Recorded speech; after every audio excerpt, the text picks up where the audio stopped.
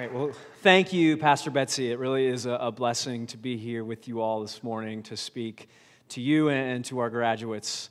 Um, in light of this scripture passage, I want to begin by asking a question Have you ever run a race before? see a, a couple heads nodding. So maybe the, the better question is when was the last time you ran a race? Uh, for, for those of you who have run like the long distance races, I'm talking about the marathons and the half marathons, more power to you. So much credit goes to you. You know, my wife, Sarah, she uh, ran the half marathon, the Pittsburgh half marathon, which is 13.1 miles. And I had the opportunity to watch her as, you know, as I was walking around the city of Pittsburgh. And man, I watched her and it's just like nothing fazed her. She's just running. She's this huge smile on her face, like not even tired. Meanwhile, then there's me. I'm just walking around the city trying to watch her. And at one point, I had to like, whoo, catch my breath because I was just walking for like a mile or two. And she's there, 13.1 miles. She's like not a care in the world. You know, the last uh, organized race that I ran, and no, I don't count youth group games as organized races. But the last time I ran an organized race was in eighth grade. And I was on the track team. And probably some of the seniors here are already laughing because picturing me on the track team is probably a pretty funny image. But I used to run hurdles in eighth grade. And believe me, I was not the best hurdler by any stretch of the imagination, but I also wasn't the worst. I feel like I was kind of in the middle somewhere. And uh, I remember this one race very vividly because it was the last race of the year. And it turned out it was the last race I would ever run again. And uh, so, you know, I get, get my starting blocks, and, and the guy shoots the gun, and, and we're off. And so I get to the first hurdle, and like any good pro hurdler, I stumbled over it. And uh, lost a little bit of ground, but I kept on going, right? Because it's just the first hurdle. Till I got to the second hurdle. And every hurdler's worst nightmare happens. I did a little more than just stumble, I flat out tripped over the hurdle, like face meets the track, and I just started tumbling on the track. And I'm just like sitting there, what felt like an eternity. And I knew that I was faced with two options. First one was I could just stand up, walk off, and call it a race and call it a career. Or I could get back up and just keep going go to the next hurdle. And you know, I got this like adrenaline a rush, like something inside of me just like forced me to my feet. And I ran and I went to the next hurdle and I jumped over it. And I ran faster and hurdled better than I ever had in my, my entire track career. And would you know that not only did I finish the race, but I finished second place in that race. After totally like, yeah, I mean, if anyone was stunned, it was me. I couldn't believe the fact I even finished and then came in second. And then as I looked over to my teammates, they were all standing there like, like nobody could believe that I just finished this race in second place. Like, it was unexplainable.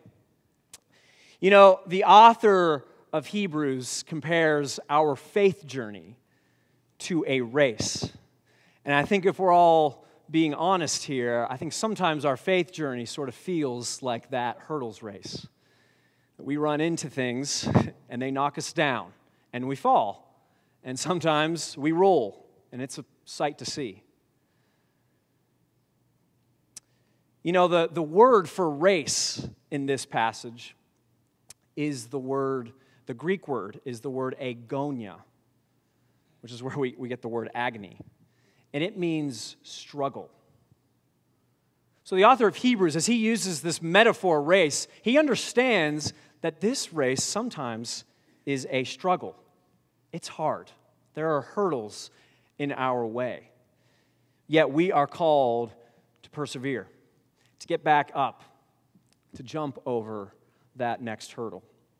This was especially the case over 2,000 years ago for an, entire generation of Jewish Christians to whom this letter of Hebrews was written to. You see, because of their recent conversion from Judaism to Christianity, this generation of believers were facing a lot of flack for their conversion. They were being persecuted by their Jewish friends, by their Jewish families, and even by the Romans. You see, this persecution was widespread. It was physical, it was emotional, it was social, and in some cases, it was even economic.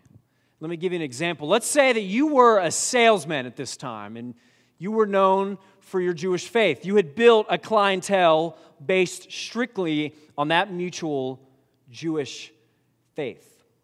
And then the salesman converts to Christianity. What do you think happens to his clientele when they find out that their prized salesman is now a Christian? They go elsewhere. They find another salesman who is, who is a Jew. And now that salesman who is now a Christian has lost his business. He has lost his faithful crowd, which means he has lost sales, which means he has lost an income, which means he has lost a way to provide for his family. And so this made it the temptation for this now Christian salesman to think about going back to Judaism. Why wouldn't you? I mean, you, you were thriving under Judaism, you were earning an income, you were supporting your family. And now they were thinking about going back to their roots, back to what was comfortable, back to what was working.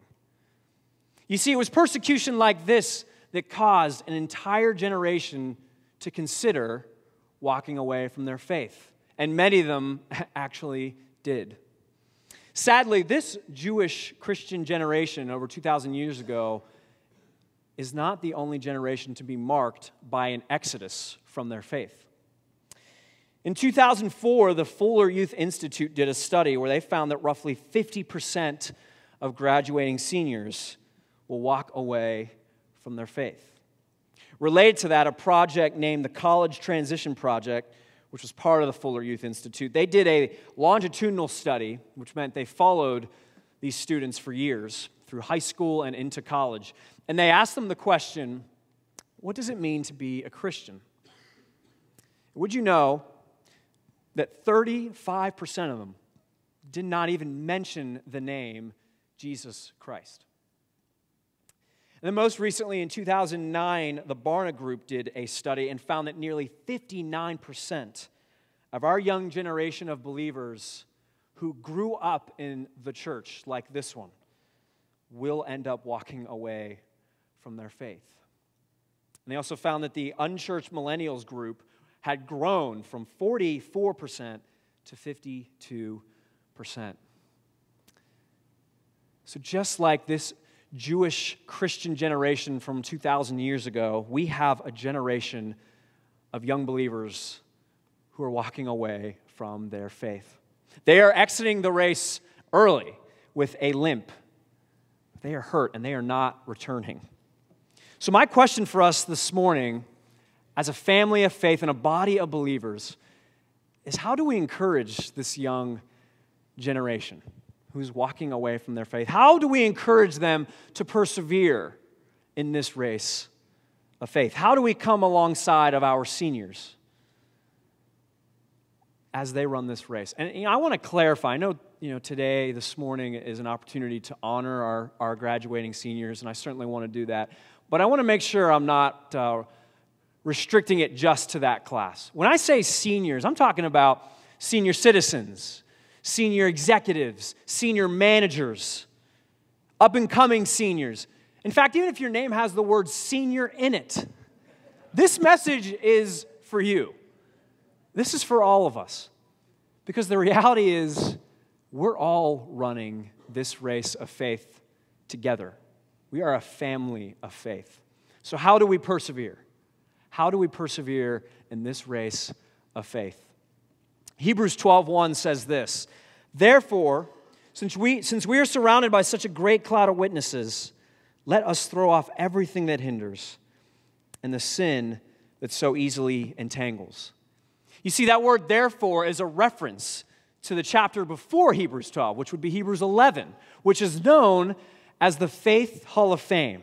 It lists all of our champions and forefathers of the faith, those who have gone before us and have lived exemplary lives of faith.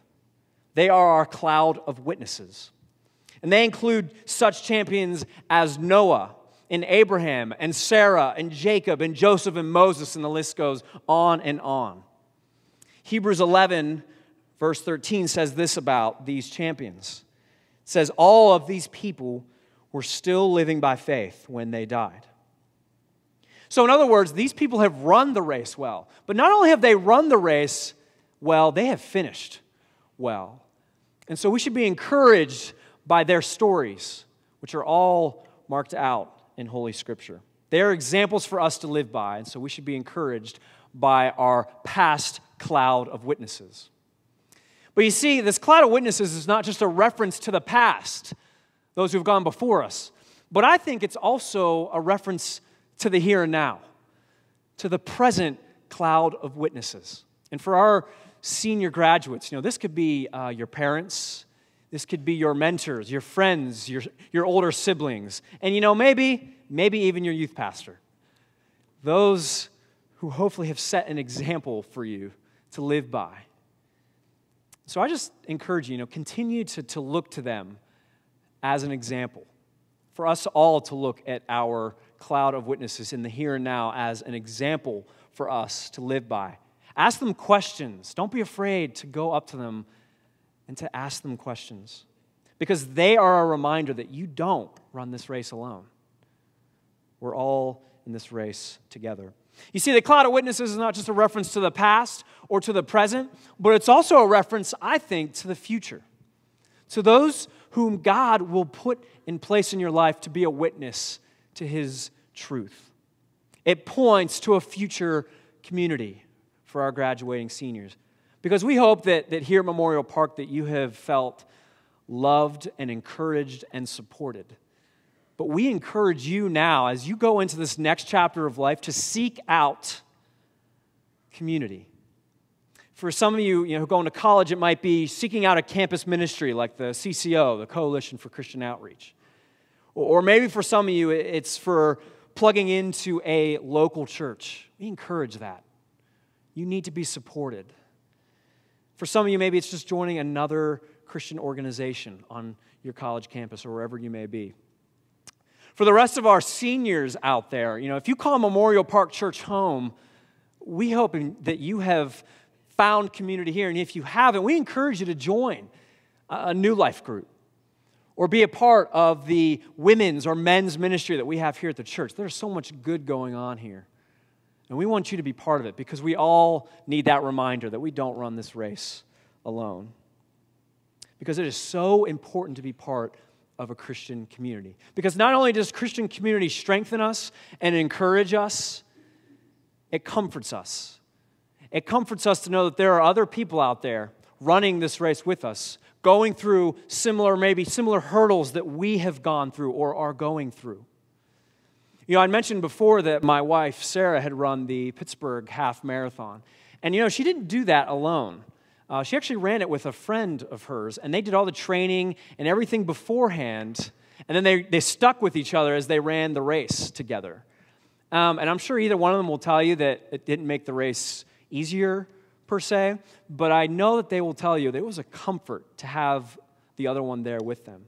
Because they knew that whatever they were feeling, the other one was feeling it too the tiredness, the out of breath, the, the, the racing heartbeat, the soreness probably the next day. They went through that together. It was a comfort to know that they had each other. And it's the same for us as we run this race. We need each other. And most importantly, community points us to Jesus. Hebrews 12, 2 says, Let us fix our eyes on Jesus, the author and perfecter of our faith. And so, in addition to needing community in order to persevere in this race, we need to keep our eyes on Jesus and not on the culture that surrounds us. You see, I, I think the author of Hebrews tells us this because he or she understands how tempting it is to keep our eyes on ourselves, to keep our eyes on our situations and our experiences you know, especially for our graduating seniors, you, know, you are about to embark on a very exciting new chapter in your life, filled with, with new experiences, new people, new situations, and maybe even a new culture. But with uh, all those things, I believe, comes also the temptation to keep our eyes on new temptations.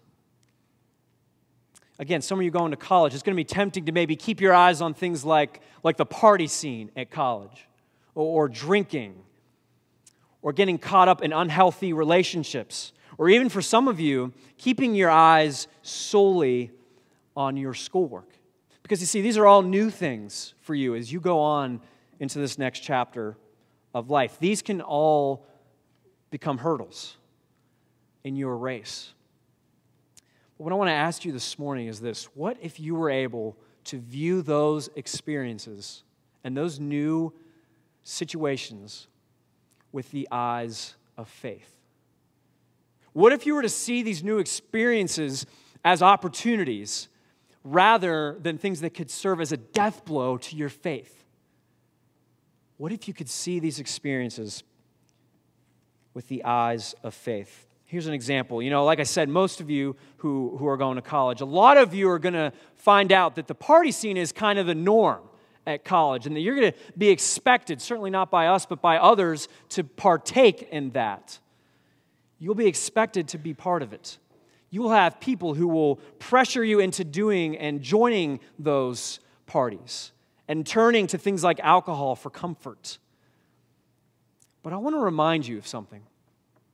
That typically, those people who are pressuring you into doing those things and to going to those parties and to trying out and drinking alcohol, those are the people who are most desperate for acceptance, most desperate to be affirmed in some way.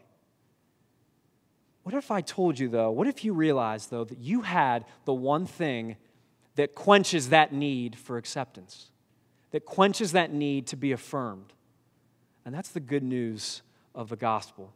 Because you see, the gospel accepts us as we are, the gospel affirms us as we are. And whether you share that with someone vocally or you just show them to that, show them that the way that you live your life, you have something that they need. And that's the gospel. What if instead of getting caught up in toxic and unhealthy relationships, what if instead you sought out a community that encouraged you, supported you, strengthened you, challenged you, and even pointed you to something bigger than yourself? And that's the God who made you and created you. What if instead of stressing out with your studies, and your work. And we hope that you will study hard and work hard. But what if instead of getting stressed out and being bogged down by your schoolwork, what if instead you saw it as an opportunity to join in God's work and redeeming the entire world? Rather than just seeing it as, as a paper that needs to be written or a book that needs to be read, you saw it as a way to join God in what He's doing in this world. You know, we, we take our seniors to, to this conference called the Jubilee Conference, which is actually a conference for college students. Um, and so that's something you guys can continue to go to because they talk about that exact same thing is whatever you study and whatever you work at, it's an opportunity to join God in His work and what He's doing in the world. And so, all of us, all of us seniors, I think need to be reminded of something is that we are not called to be transformed by the culture, but instead we are called to transform the culture. With this in mind, seniors, I pray that you would see this new chapter of your life with a clean slate. Because no matter how you've dealt with those things in the past, today you have the opportunity to, to hit the reset button, to start anew to not be weighed down by any baggage or reputations or cliques or anything like that. You have a chance to start new with your eyes set on Jesus. Because you see, when our eyes are on ourselves and on our new experiences and, and, and our new situations and the culture around us, when our eyes are on those things, sin is a natural consequence. But when your eyes are fixed on Jesus, transformation is the natural consequence. Transformation in yourself, transformation in the people around you. It starts with your eyes on Him. And that means just, you know, being faithful and reading your Bible, praying, talking to God, joining that community of believers, keeping your eyes on Him. I had somebody share a devotion with me this week, and I really liked what this person said about this idea of keeping our eyes on Jesus. They were talking about how it's sort of similar to driving, and that when you when you're steering, you're steering to where you're staring. So wherever you're staring is where you're steering. So I want you to remind that as you run this race of faith, that you will steer where you stare. You will steer where you stare. You see, not only do you need community in order to persevere in this race, and not only do you need to keep your eyes on Jesus, but this morning I want to challenge us to take that a step, a step further. And I want to encourage you to, to rely and depend on Jesus. We need to trust Jesus. We need to trust in who he says that he is and depend on his power to run this race. Because if you haven't figured it out yet, we can't run this race based strictly on our own abilities, on our own gifts, on our own talents. We can't. We can't do that. The scriptures say that Jesus is the author and the perfecter of our faith. And even as I was reading that this week, I asked myself, what, what does that mean? That Jesus is the author and the perfecter of our faith. And Here's my best stab at it Jesus is the author of our faith. It means that Jesus is the creator of our faith, that our faith starts with him. Our faith originates with Jesus. And you know, again, especially for those of our graduates who are going on to college, into that next chapter of your life, you're going to read and be pummeled by books that are written by authors who don't necessarily believe the same thing that you do or come from the same perspective that you do. And, and while it's good to be challenged by people who believe things that, that are different from you, I want to encourage you to not let those readings take priority over your reading of Scripture, your reading of God's Word. And, and here's why because God's Word is the foundation through which we see everything else in this world. God's Word is the lens through which we view the world, and that includes our studies. That includes things like, like biology and chemistry, engineering, business, philosophy. All of those things are seen through the lens of Holy Scripture. So I just encourage you, graduates, and the rest of our seniors here, stay in God's Word because it is the foundation through which we see and view everything else. So, so Jesus is the author of our faith, and he's also the perfecter of our faith. You know, many of our graduates here, I'm, I'm sure that many of you have probably never gotten anything lower than like a B minus in your classes.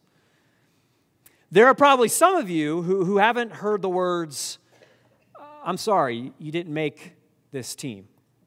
Or I'm sorry, you didn't make this honorary. Or, or I'm sorry, you didn't quite make it. You see, if you haven't again already, I know you probably will feel this as you go on to the next chapter of life. Sometimes you feel like you need to get it all right all the time. But I want you to hear this this morning, graduates. You are not called to be perfect. You are not called to be perfect. There was one person who was called to be perfect who walked on this earth. His name was Jesus. So I want you to hear this. You're not called to be perfect. So why don't we just let Jesus be the perfect one?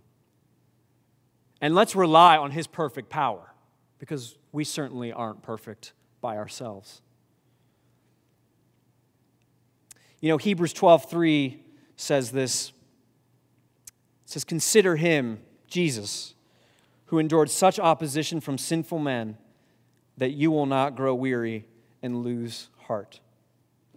You see, we can rely and depend on Jesus because he is perfect, but that's not the only reason. The other reason is this is Jesus experienced everything that we have experienced.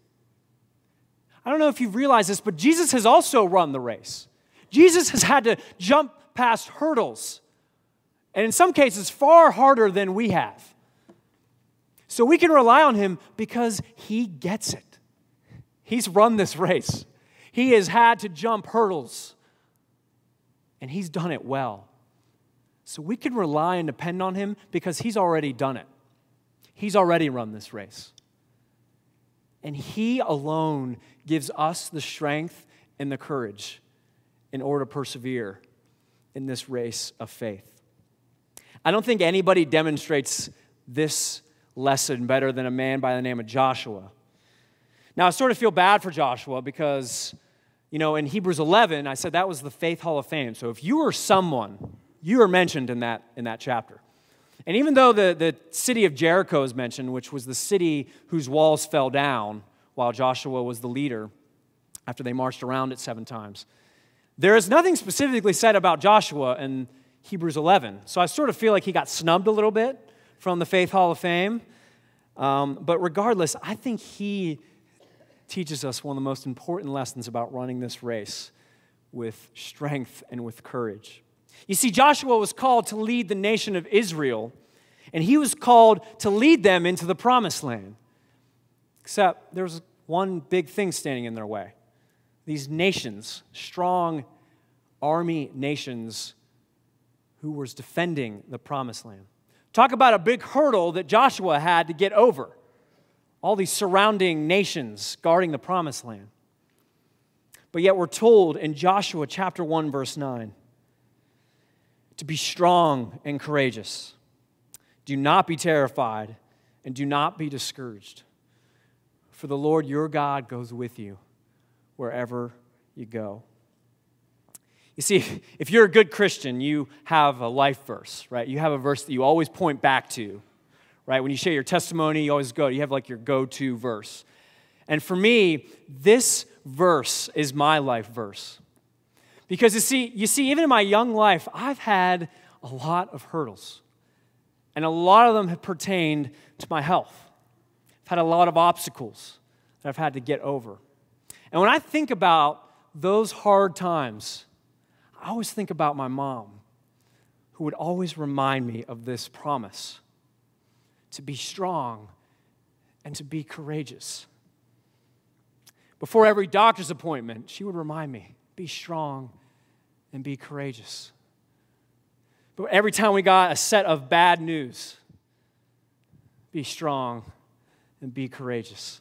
Before every surgery that I had, be strong and be courageous when we weren't sure what the next step was or, or what the next thing was to do, there she was. Be strong and be courageous. You see, Joshua ran his race with strength and courage. It wasn't because of what he did or who he was, it's because of who God is. I didn't run the race uh, through those hurdles in my life because of anything I did or because of who I am, but because of who God is. And so, graduates, I want to leave you with this. You will run the race, you will persevere, but it will not be because of who you are. It'll be because of who God is. Because He goes with you wherever you go. And that's for all of us. Because all of us have hurdles, right? All of us have hard things, big or small, they're there. And sometimes, just like in my race, we fall, and we fall hard. And sometimes we might even tumble a little bit. But just like the race, we're also faced with two options. Option one, we can just get up and walk off, call it a race Or we can get up, go to the next hurdle, and go over it. Because you've got a cloud of witnesses that is behind you, cheering you on, encouraging you.